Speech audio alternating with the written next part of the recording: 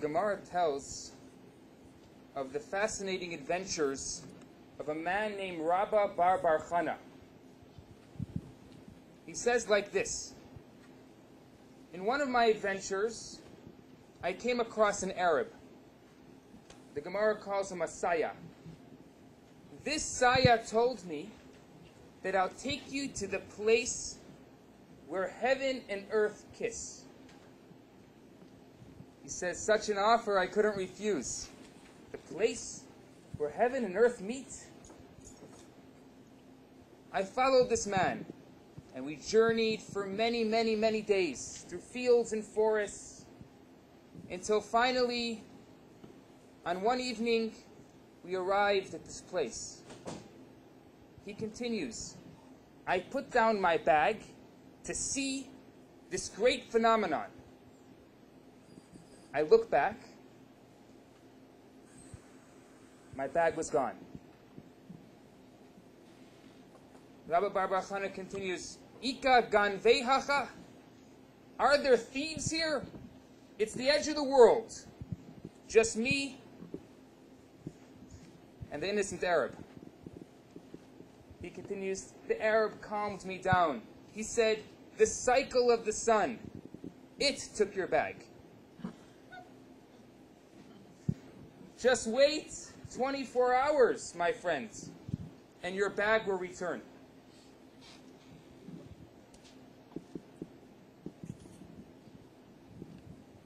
Before Pesach, I was invited to a public high school to speak to the students, and the subject was freedom. They figured I'm a rabbi, Passover's coming, probably sounds like a good subject for a rabbi to speak about. Okay. I walk in, and I see this nice group of uh, 16 and 17 year olds, wonderful uh, young people, and I looked at them, and I said, I don't know why they invited me to speak about freedom. You guys know everything there is to know about freedom. Please, someone, tell me, tell me about being free. This silence. Said, please, somebody, can you tell me something important? Something about being free? Finally, this young girl, she, get, she gets up and she says, I'll tell you about freedom. Freedom is if I can wear anything I want. I said, that's nice. That's freedom. But tell me, um, what is it that you want to wear?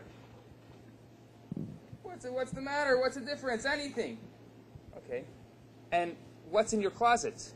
Probably designer clothes. You think they just happen? They probably are made by some clothes designer in France. And the moment that clothes designer needs another penny, there goes your wardrobe. So she sits down. Then this boy gets up and he says, Yeah, I'll tell you true freedom. Freedom is to watch TV all day. I'm going to watch TV. No one's going to tell me how much to watch, when to watch, how to watch. I'm going to watch TV all day. I said, That's nice. So you're just going to flip through the channels all day, one after another. There's probably a show that you like. So he says, So? I said, So, which show is it? So he named some show. And I said, uh, And what time is the show on? So he said, uh, 7 to 8. I said, so if I was a telemarketer, I know exactly what time to call your house. You're predictable. You're going to be there in front of a TV every single night from 7 to 8. Are you free or are you a slave? So we went through a number of these motions until we came to the conclusion that freedom is a choice that we have to choose who it is we want to be controlled by. Whether it's a clothes designer in France, whether it's a television, or perhaps a Torah. That's our choice. A very interesting story happens a little under 4,000 years ago. These Jewish people were slaves in Egypt backbreaking labor. We say it every year in the Haggadah. We know how terrible it was. We eat it. Just to remember that hard, backbreaking labor, the slavery. And so comes along the great Savior God, and he takes the Jews out of bondage into freedom. And then 50 days later, takes them to a mountain, lifts the mountain, according to the Midrash, over their heads, and said, Guess what? Now you're my slaves. What kind of joke is that? They're slaves. Now they're free. And then they're slaves again. Because they cannot depend on God to live, to survive. They have to depend. Absolutely. Yeah. There's a, there's a very famous book. I'm sure many of you- of you have heard of it. It's called the Tanya. And the Tanya's opening line, and it's interesting why the Alter Rebbe picked the opening line of the Tanya. It goes like this. It quotes, it quotes a, a Brisa, a Talmud. Mashabim also tzadik val tirasha. Before a child comes into the world, an angel comes to the child and says, when you go down there to that world, I want you to be good and not bad.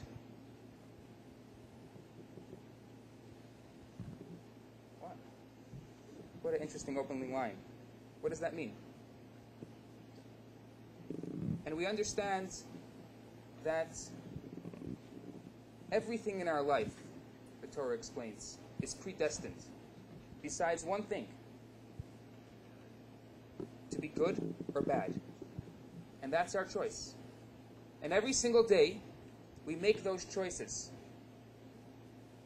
Sometimes they're very small choices, and sometimes they're very big choices. When we're younger, some, somehow they're life changing choices, and as we get older, they're less life changing.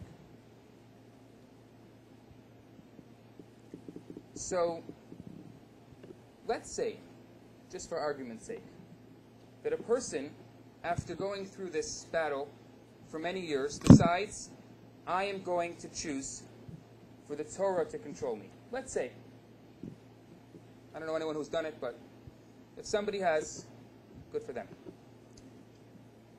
What would be? Does anyone have any ideas?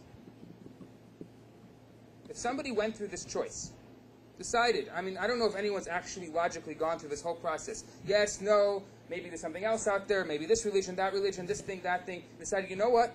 Judaism is for me, the Torah is for me, it's my choice. That's freedom. Is that freedom? For me, yes, sure. What's so free about it? I think it's very restricting.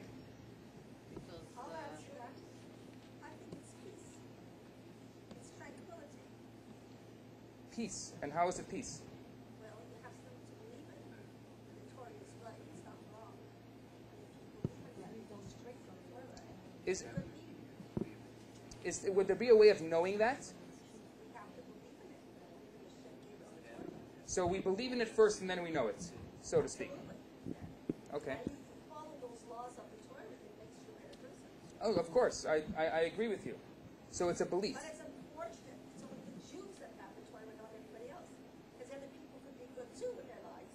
But there, there's, there's no reason why they can't. Well, they don't. I mean, the, the Torah exists, Well, especially today. To the Jews and not to. Walk into chapters. There's a there's a nice section on the Torah. That's just too bad. You know, today there's a lot of choices. We, people can choose that. Very interesting. The Jewish people have gone through a very colorful history. But there's one particular aspect that if you look through every single story in Jewish history, it comes back to one fundamental. For example, in the beginning, Jacob knows that he's going down to Egypt. He was a holy man. He had some kind of divine intuition. He knew what was going to happen to the Jewish people. And so what did he do? He sent, he sent his son Yehuda ahead of him to build houses of study, to study Torah, because he knew that was the secret. Then, the, before, before the exile of Zedekiah, of Tzidkiyahu, there was the Jewish people, the leaders, were given three requests. The first was to keep the leadership of the family of Rabban Gamliel. The second one was they wanted a doctor who can heal Rav Tzadok, because Rav Tzadok had tremendous prayer, and he said that he prayed for the generation. And the third one was to keep the scholars learning because they knew that was the secret. And even 60, 70 years ago in communist Russia, in a, in a cellar, in a cellar, in a cellar, people were studying Torah because they knew that was the secret. And even today, we're all sitting here for one reason because we know no matter what's happening in Israel, no matter what's happening to our, to our brothers and sisters there, we have one thing that we can do, and that is to sit and study. The whole world can say that doesn't make sense. Go learn judo and karate. Go fight. Why sit and study? What does Torah do to the people in Israel or to our brothers and sisters all over the world that's going to change something that seems political or that seems political? Any ideas? Hope. Hope? Okay. Hope. Because study Torah brings down the essence of God lower to our level. Okay.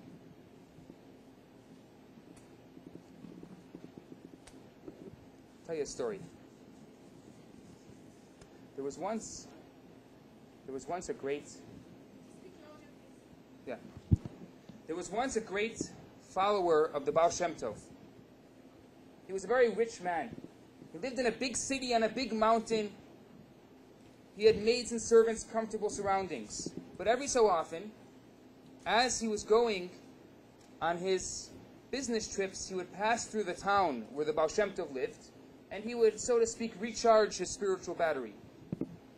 On one particular visit, the Baal Shem Tov said, On your way home, you're going to pass through a town. And in this town lives a friend of mine. His name is Ber. I want you to seek out his well being on my behalf. Well, the student was so excited. My Rebbe gave me a personal mission. So he quickly told his driver, Get the horses ready. We got to go at once. I have a personal mission. I don't have any time to waste. So he got the horses, and they went as fast as they could. While he's in the wagon, he's thinking to himself, if it's a friend of my great Rebbe, the Baal Shem Tov, his name is not Ber. It's probably his name is the great Rabbi, Rab, wonderful Ber. So he comes to the town, and he starts asking around, where is this great Rabbi Ber? Nobody ever heard of this guy. He goes from house to house, knocks on every door. No one had ever heard of this Rabbi Ber. He's brokenhearted. He came all this way. It can't be. The Baal Shem Tov sent him on a personal mission. He must be here. And he went again through the whole town. So finally he realized he just wasn't there. He gets into the wagon and he tells his driver to go. As he comes to the outskirts of the city, he sees a little broken down shack. He says, It can't be possible. But you know what? I have to try it out. So he gets out of the wagon and he goes and knocks on the door. A young man answers the door. How can I help you? I'm looking for the great Rabbi Ber. I didn't know of any great Rabbi Ber, but uh, my name is Ber. Your name is Ber. I come from the Baal Shem Tov. You come from the Baal Shem Tov. I'm so honored to have you in my home. Please, you must be a guest in my home. The, the wealthy man is invited into the home and he steps down and you could see immediately the bare walls. The man's family was sleeping on some hay on the floor. Sits him down in a chair that can barely hold him up. And a few minutes later, he comes back with some food, but all it was was some lukewarm water with a chicken bone in it. But he tried to ignore his surroundings and think, but this is his mission, this is his place. And so the whole night they sat talking about the Baal Shem Tov and the great wonders and miracles and the teachings of the Baal Shem Tov. In the morning, he gave him some hay to sleep on, but he was tossing and turning, thinking about his comfortable bed at home. As dawn came, he took him to the outskirts of the city, as was customary. Before we departed, the wealthy man turned to this Ber and he said, I have one question to ask you. Please, ask. How can you live like that? Ber smiles. He says, Why? How do you live? Me? I have a big house on a big mountain. I have comfortable surroundings. Said, If that's so, what you say, how could you stand one night in my home? Well, I'm on a business trip. And being on a business trip, I know that it's not going to be as comfortable as it is at home. But I can afford one or two nights without the comfort that I'm accustomed to. Ber smiles and he says, Me too. I'm also on a business trip. I'm on a business trip in this world. And I can afford my time that it's not going to be as comfortable.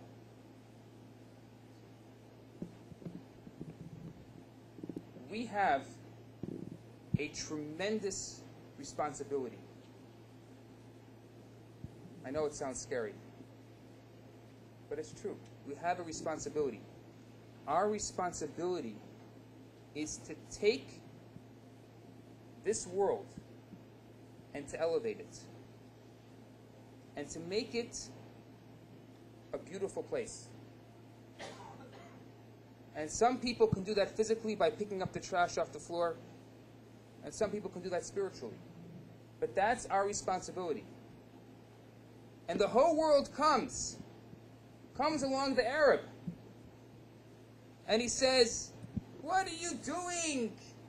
Let me show you the true life. Let me show you the true world. I'll take you to the place where heaven and earth kiss. Please, you don't need to go here. Let me take you to the mountains of Mongolia. There you'll find true spiritual enlightenment. I'll take you to the mountains of Japan. We'll study kendo. That's spiritual. Perhaps you can become a monk. That's very spiritual. What are you doing? Why do you live here? What's the point? That's not spirituality. And so, an offer like that we can't refuse. And so we follow the Arab. And we take along that bag with us. The same bag that our parents and grandparents took with them through the camps. That same bag that our great great grandparents took with them to the pogroms. We carried that bag with us. The bag with the Shabbos candles. The bag with our only Torah, our copy of the Torah. We carried all the mitzvahs that we did. And we went and followed the Arab. And when we got there and we saw this incredible place, we threw it away. When we got to Ellis Island and we saw the Statue of Liberty, it all went away. And we enjoyed it for a few moments. And then we looked for it, but it was gone. And we tried to go back to it. And every time we tried a little bit, it was too it was too far gone. It was too it was lost. And so what do we do? What's the answer to the story? To love your fellow man. That's the answer to the story. Is that the answer to the story? That's the answer to the story. You have to love your fellow man. When the Gentile came to Hillel and said, Tell me the whole Torah On one on one foot, he said, Do not to yourself, to others, what you don't want done to yourself. We have an obligation to take this world, not to run away, to take our bag, because we are midgets on the shoulders of giants. Because we don't only have what we learnt in our pockets, we have our grandfathers and our great grandfathers and all the ancestors, all the way from Abraham. What they did is they gave us this whole package, this incredible amount of knowledge, this incredible amount of mitzvahs, and they have created what it means to be a Jew. And what we take is we take the, the giants, all these incredible things that they've done, because we're because we can take pride for that. All those wonderful things that our forefathers have done, we take pride in that. And we take that and we carry it with us. And then, once we hold that in our hands, what is there to be ashamed of? What is there, there to be fearful of? We have it all. I was once on a subway in Chicago. I was sitting there minding my own business, reading a book, and I see there's there's someone standing in front of me. So I look up, and he says, "Can I, can I sit down?" I said, "Sure." He says to me, "Are you a rabbi?" I said, "I guess so." For argument's sake, sure. He says, "Tell me, what would you tell a Jewish boy who was thinking about marrying a non-Jewish girl?" Just like that, he says it. So, "What would I tell him?" I tell him that he's killing himself. What? Not only is he killing himself, he's killing all of his future generations and all of his previous generations. Gone. He shakes, he's shaken up a little bit. He says, What? He says, You understand I'm talking about myself. I said, So? Tell me. What do you think? He got very emotional. And we started talking. In the middle of the conversation, he asked me a question that I think struck a part of my soul. And it really, I'll, I'll ask the question to you. He says to me, What's the difference between you and me? I said, There's nothing. Is your mother Jewish? Yes. My mother's Jewish. We're the same. We're both Jews. We're both from Abraham. There's no difference. He said, Rabbi, don't give me that. Look at you. You got a beard. You got the hat. You do the right thing. We're not the same. We're very, very different. I said, No, no, no. What are you talking about? We're the same. He said, If we're really the same, why should I be religious?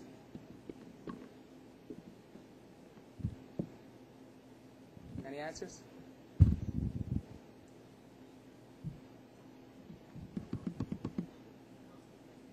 Huh? Honor your father and your mother. To feel good. But, but, but if we're the same, if we're really the same, Honor your father and mother. it's true that's that's that's good, but that doesn't answer the question of why we're the same. As long as we follow the Torah. Why, why not? I will be foolish. We have It- to follow It's also it's also a good answer, but if we're really the same, then what? And we're and I'm not really any any greater than him, which is true because we're all children of Avram and, and, and Sarah. We're we're all the same. So why should I be religious? The freedom to choose. Okay, freedom to choose. I'll tell you the answer that I gave him, and please use it. Use this answer. The answer is like this. Imagine you have a gas stove. A gas stove. And on the gas stove, there are four burners. The first burner is very lit up, it's heating up everything. The second burner has a small flame, slowly but surely getting the job done. The third burner, the pilot lit, but the flame never ignited. So there's these sparks that are flying out. And the fourth burner is the flame, is the pilot as it's igniting. There's that annoying ticking sound. I said, so too there are four Jews. The first Jew, big flame. Whoa, too Jewish. Stand back. The second Jew has a small flame. Torah, mitzvah, slowly but surely gets the job done. The third Jew has a spark. A Rosh Hashanah, a Yom Kippur, a Hanukkah bush, a Pesach Seder. And the fourth Jew has an annoying ticking sound. Has the same flame as the others. But that flame, that Jew's flame, is an annoying ticking sound. Subconsciously, the Jew tries to get rid of this ticking sound. Goes to some spiritual retreat in the Rocky Mountains and another retreat and, uh, and somewhere else and tries this and tries that, not knowing that everything's in their own backyard. But I told him the beauty of it all, the wonder of it all, is that we're just four burners on a gas stove. We're all part of the same gas stove. From the one that's too Jewish to the one that's still searching, we're all part of the same unit. And that's why we're here today. Because we're part of the same unit. We have made the choice to be free, to choose what it is we want to be controlled by. And being a free person, once you give God and say, This is your freedom, I'm choosing you as my freedom. And God says, Sure, I'll take care of the rest. Don't worry. Once you plant the seed, once you make the vessel, the blessing comes. If you have a cup, it will be filled. And that's why we set a for Torah study. Because by setting a time for Torah study, we fill, we say to God, okay, here's my cup, fill it up. And you can ask whatever you want. Because that's our choice. And God gave us that choice to be free. Any questions? If I have a Jewish mother, can I be a non-Jewish person? No. You can you can tell somebody But, but even if uh, from uh, birth uh, on, I always hated religion, and I never accepted to be a Jew. Uh, That's fine, Never that's- went to a synagogue. I never prayed. So uh, why am I still a Jew then? it's your choice. Your choice was not to go to synagogue and not to pray. It is Does- my choice. That's good. So that's there's no problem with that. That's the choice that you've made. But you, you, you say that I can't have my choice. You have a choice. It doesn't mean But, uh, but you say that I can, uh, that, I, that I am still a Jew, you are still a Jew. but I am not. You've made a choice to choose. He just told me this is the first time in his whole life that he heard a rabbi. He just told me that. That's the great. first time in Wow. his life. I'm honored. but he's It- uh, I understand- I understand what you're saying. argue every single argument that he brought up. Uh, but I, uh, but I, I am not. But how come you're here then? Now, Huh? how, how come you're here? I, I told you exactly how come I here. I, I, I, I saw Let's give it- Jew, even I if you saw read it in ad the in Gazette, the, you in wouldn't the. Gazette, and uh, somehow that intrigued me. So I decided that I drop in to see what the hell is this. But if you weren't Jew, you wouldn't, even if you read it in the Gazette. What can you? I, I agree with you, and it's something that we can't we, that we don't have time for, but hopefully we'll have time that we can sit one on one. Yes. I have a challenging question. Okay. I'll see if I have a challenging answer. If I was to ask you, uh, a hypothetical situation, uh, the, let's say, in order for the Jews to have their freedom, okay, you would have to do, in order to protect all the Jews, you have to be a choice in the middle of that, where the rest are have to do it.